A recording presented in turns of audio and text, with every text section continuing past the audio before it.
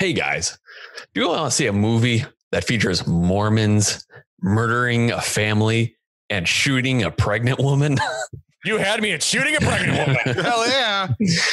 if you do, then according to IMDb, Messenger of Death from 1988 is for you. ah, Messenger of Death from 1988 is the movie that we reviewed for this episode of Loose Cannon. My name is Brian Leh, and Elk Grove Village is Bran Bran. in uh, Evanston is. Christopher Leh. Uh, Bran Bran, what are you drinking? I am drinking Jim Beam Honey.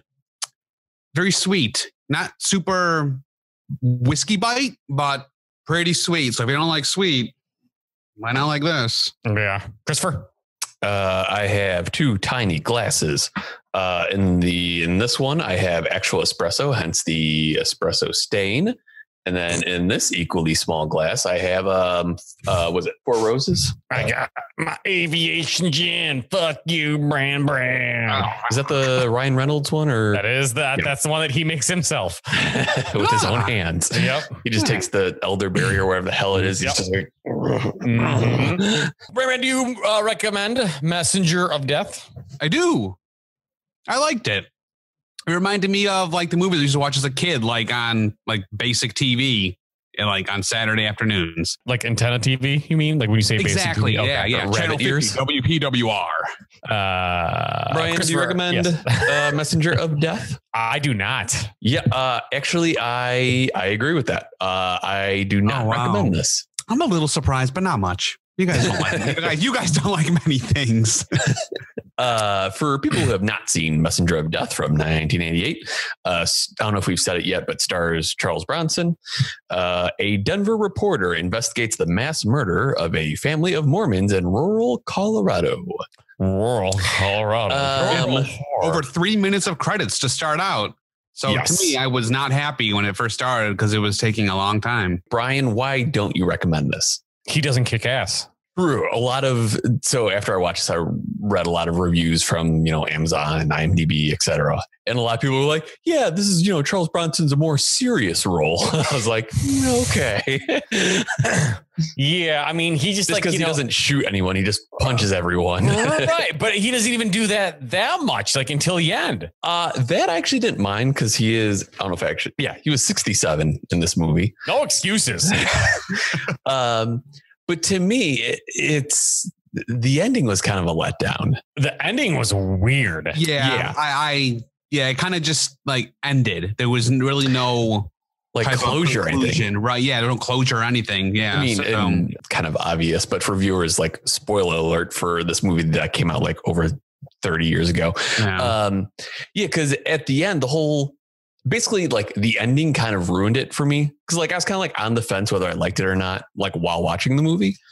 But then like the end, it kind of lost me. And just because like I feel like the whole time they're trying to set up that couple that like owns the water company. Like they're Right. kind of like like, oh, they did it Uh-huh. and then kind of like there's like a five ten minute chunk at the end where it's like oh maybe it's the chief of police new mayor maybe he's doing something weird and then at the very end it wasn't any of them it's just like Well- that fox guy So, yeah. What, I and what- thought him. what I was was he? like, I was thinking him the whole time. uh, really? Yeah, you remember when he was like looking at like at the, kind of at the end, he kept staring at the like the that woman that owned the water company, and like, he ca- he just always seemed like he was always in the middle of something. I I thought it was him and the woman actually, and I thought because that one guy gave her the company, the husband. So I didn't think he was a part of it. I thought it was the woman, and I thought it was that dude that were in on it.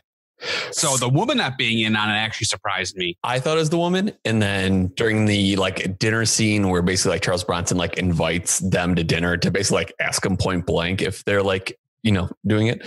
Yeah. she the wife seemed innocent enough. And the guy was like, uh, let's let's go. Let's not talk about this. So I was like, oh, he did it. Uh yeah, but it wasn't any of them. It was a guy who used to have a shale company. Like, did either of you guys get that? I don't whole know what explanation. I don't know what he does or who he like what he he would to me i think he was just like one of the the businessmen you know really that just knew everybody type thing Yeah, well, yeah, definitely that. But yeah, I feel like they try to explain it like he used to own a shale company or something, and then he sold What's a it. shale company? is that like type of rock or something? It's for oil. Shale, Ah. shale's rock, and in between the shale, shale's very like, th- from my understanding, is very thin rock, and in between the shale is oil. So you, I guess, you need Mm. water to get that oil out of that rock. I don't know. Yeah, and they yeah, and they said that where the sh- I think the shale guy sold his company to the water people, but at the very end, the the guy, the water couple, they're like, "Oh, we offered you to like buy stocks, and you didn't do it." And I Yeah, was like, "Wait, what?" yeah, I'm right there with you. The plot kind of, Like I'm getting really tired just hearing all of this. uh, yeah, yeah. Like, it, it, like You know, it's, and I don't recommend it like for like the in-depth plot, but I like I liked it because I re- wasn't really sure, you know, who did it. You know, right. I, I liked Bronson. I like that he um he just no nonsense, just how he is. You know, just Mm-hmm. Right, straightforward. Did you kill these people? Yeah, Like- right, like- yeah. I'm like, hell yeah, ask these questions. You're a Yeah. hard hitting reporter. You know, right. so- Well, right. I liked that stuff, and it, it kept my attention.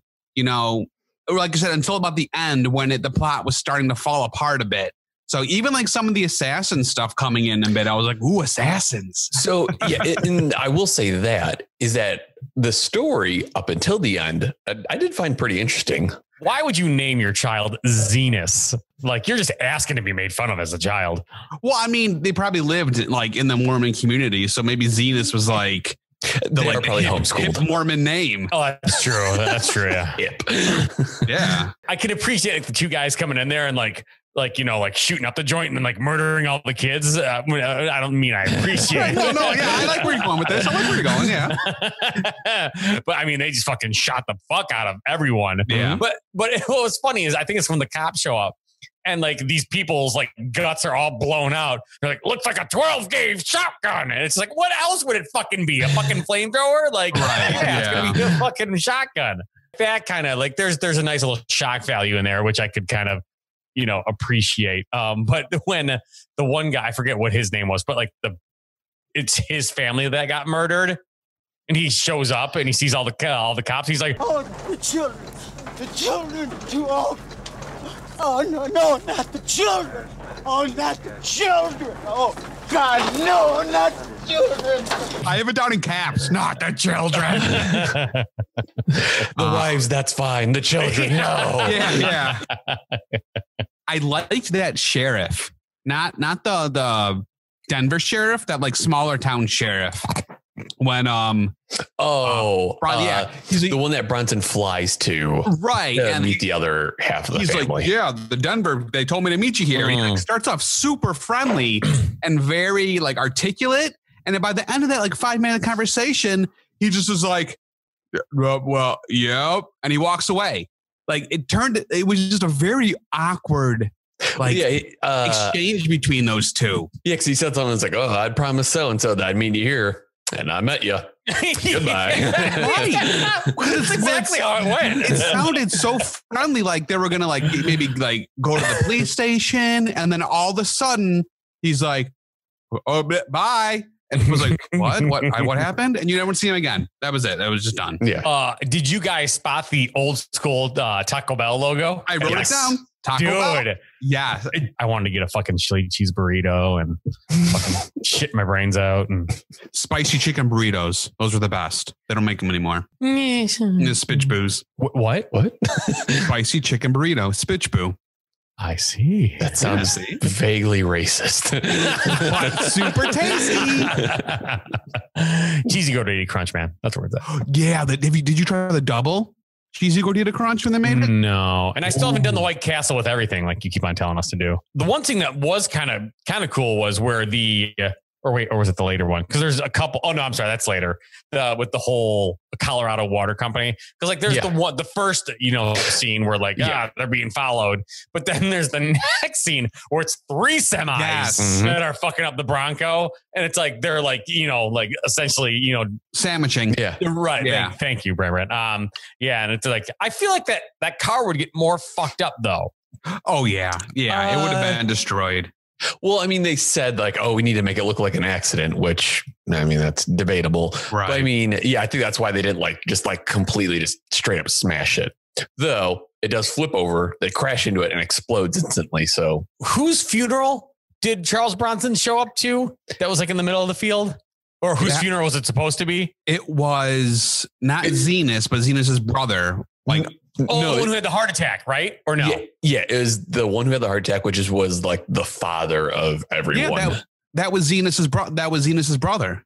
no, so oh god, they all have stupid names. There's Zenist.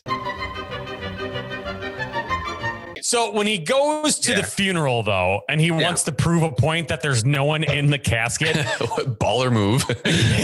right? I mean, uh, what happens if someone was in the casket, though? I mean, like, well, and that's the thing, because yeah, he asks whoever, he's like, Oh, we're all the men. They don't answer.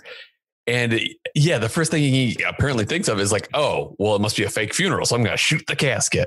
right? Like Yeah. my first thought was like, oh, maybe the men are like, you know, on patrol or defending, or like my first guess wasn't that it was a faked funeral. But yes, going back like 10 minutes, yeah, the the scene with the three semis was like a pretty cool action piece. No CG, all practical. Yeah, yeah, that was neat. Yeah. Uh, you can tell. You, I mean, so you said Bronson's 67 in this.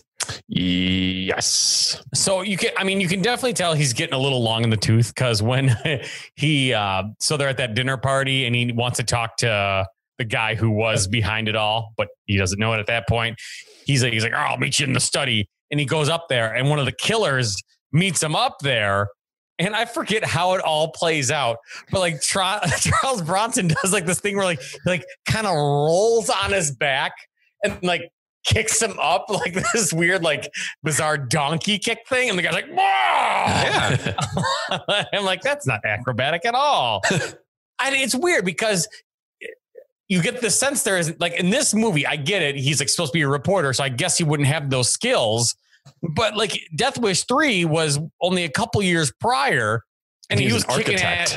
Dude, yeah, and he was kicking ass there. Yeah, Mhm. yeah. It would have been cool to see him like kick more ass, but I was I, I liked him as like uh reporter being like super Yeah. snarky. It was, a, yeah, it was like a weird middle ground though, just because like he's a reporter, but like he still like took out an assassin, like no problem, twice actually in this movie. So it's like Everyone yeah, knows him, re- so I guess he's popular or something. I, I don't know. he's a reporter, but he can still like hand to hand combat, no problem. Was the blonde woman his partner or his wife or No idea. Yep. Yep. Oh. Everyone's a Mormon. and marry our cousins. where we can worship freely, govern justly, and grow vast fields of hemp for making rope and blankets. Yes, and marry our cousins. That assassin at the end, he beat him, uh, and then it kind of he was like the assassin was like, "Yeah, it was this guy that told me to do it," and he's like, "I didn't say anything," and then he's pointing the gun at the assassin for like five minutes, Right. everyone's standing around, and he shoots himself. Which was very unexpected. Yeah, I, yeah, I didn't. I wasn't expecting that. I thought Bronson was going to kick the gun out of his hand and then give him a judo chop in the neck. That would have been awesome. He's not Austin Power. Oh, there's a fucking reference for you. He could judo. He could. Maybe he was the founder of judo chops, and you're just Who? Austin Powers? no Charles uh, Bronson. Yes. Oh. Did you ever did you ever have any friends that like Stop like- right there. Yeah, like maybe like five years after Austin Powers came out, and they'd be like, "Yeah, baby." Oh. And I'm like, Ugh. I like people still- who people who still like do Borat impressions. It's just like, Good cake. My wife made it. My wife? Borat. I ca- I don't know if it's exactly a freeze frame, but the movie ends with like Bronson just like staring at the camera, like Yeah.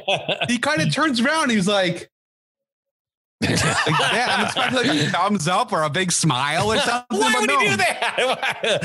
I don't know. Like face off. Well, that at least would have been like an ending. Instead, he just kind of looked and is like, "Is there more movie?" And then it turns out, a question mark just appears above his head. Credits. Right. yeah. The big thing I didn't like is it kind of there's no conclusion, there's no closure, it just ends.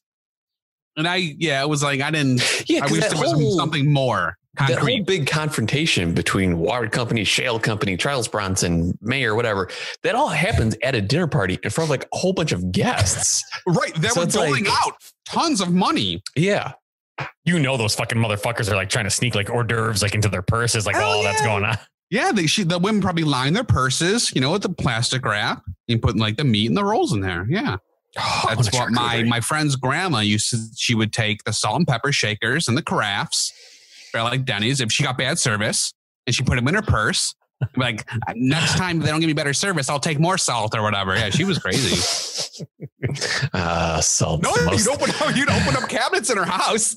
and There'd be like like fifty salt and pepper shakers from like Denny's in there. I'm not joking. Why would you need more than one salt and pepper shaker? I can ask her. I, I think she's still alive. Oh. Oh, it took a dark turn there. she died from a sodium overdose. Yeah. Plot twist. Yeah. One thing I'll add is at 3915, uh, one of the characters just starts, it really seems like seems like he just starts shouting all the French words that he knows. No, please. We don't Why don't we Good, good, good. À table, tout le monde. Vite, vite, mes enfants. Let's eat. I'm just looking at my notes. Yep. Do you still recommend uh, Messenger of Death? Yeah, I do. Yeah, I even with the ending, you're not gonna be away, come away satisfied with the ending. But like I said, it's more of a nostalgic thing. I, I enjoyed it. It kept my attention through all of it until the end. So I was, I'd, you know, I I wouldn't mind watching this again. You know, on a, like a lazy Sunday or something. Brian, do you still not recommend Messenger of Death? I still not recommend. Yeah, uh, I still don't recommend. I think the big thing for me is that I I would basically recommend any of the Death Wish movies over this one. More This- kicking ass. This one is more family friendly. If you show a child, Especially Charles when those Bronson, kids get blasted. I'm not. I'm not gonna like. I, I this to me is in a whole different type of like movie category. I wouldn't Yeah. even compare. You know, so it's like I can enjoy Death Wish, but then I can enjoy this one too. I just, I just say that this one's more family friendly just because I feel like every Death Wish movie has like at least three rape scenes in it. So it's like, yeah, they didn't have that. And the, the kids would enjoy it because like there's children in the Because everyone gets murdered. exactly because like oh someone like me died too. How uh, how is everyone's drinks? Do you recommend the drinks that you've had? I still recommend gin. Fuck you, Bran Bran. Ah, gross. So if you can get past the sweet, the um, booze starts kicking in, and then you really don't care about the sweet anymore. So there you go. Do you think that would be better as a like mixer almost? Yes. That would be good with a hot toddy. Ooh, yes. Yes. Yes. Completely agree. Yeah, any kind of like boozy drink that you don't mind being sweet. That, yeah, this would go perfect with this because even the whiskey part of it, there's no burn. You could, there's really nothing. All you're getting is the effect of the whiskey, but you don't get that like, oh, like in your throat. I'm just happy that you found a whiskey to go along with your love of that Jessica Alba movie, Jessica Alba. Movie. Honey. honey. Who is she? From Universal Pictures comes a story about reaching out. Christopher, did you say if you recommend this still or not? Uh, I do not recommend it. I'd recommend Um, any other Death Wish. Oh, First. Oh yeah, that's right. That's right. That'll do it for this episode. Boom. Boom. Hey, Brian here. Thanks for checking out Nick Uncaged and uh, Loose Cannon. Uh, best way you can help other people find out about us is like, comment, share, and subscribe to the podcast.